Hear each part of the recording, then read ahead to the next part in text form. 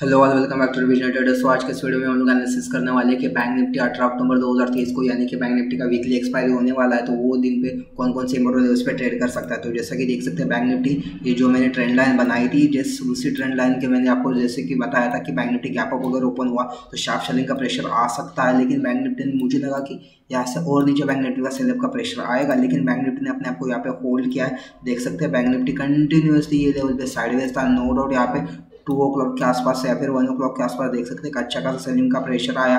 No doubt अभी Bank Nifty एक अच्छा खासा डब्ल्यू पैटर्न कंफर्म किया है।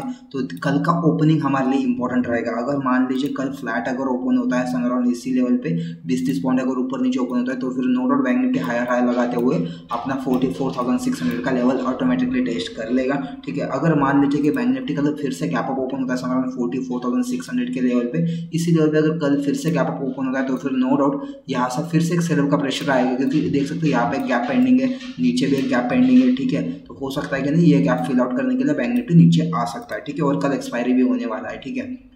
हो सकता है कि कल एक अच्छा खासा सेलिंग के साइड पे हमको एक अच्छा खासा मोमेंटम मिले, लेकिन कब? जब अगर बैंक निफ्टी मान लेते हैं कि अगर forty four thousand three hundred के आसपास, अगर यहाँ पे कहीं पे बैंक निफ्टी ओपन होता है, ठीक है? तो ओपन होते ही साथ ही कुछ बिना सोचे समझे आपको सेल कर देना, आपको forty four thousand immediately target मिल जाएगा। आई होप ये सारे पॉइंट्स आपको क्लियर हो करेंगे वीडियो अच्छा लगे तो वीडियो को लाइक एंड शेयर करें फ्रेंड्स अभी के लिए इतना ही। मिलते हैं नेक्स्ट इस वीडियो में।